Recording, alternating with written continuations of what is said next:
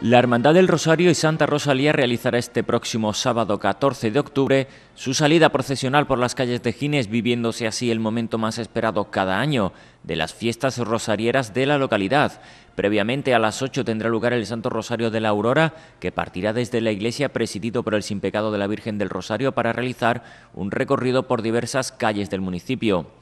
Ya por la tarde, la salida procesional será a las siete y media, siguiendo la comitiva el siguiente itinerario. Conde de Ofalia, alcalde José Antonio Cabrera, Blas Infante, Plaza de Santa Rosalía, Juan de Dios Soto, Calle Real y Plaza de España, con la entrada en el templo parroquial, tras lo que las calles más céntricas se inundarán de luz y color con los tradicionales toros de fuego.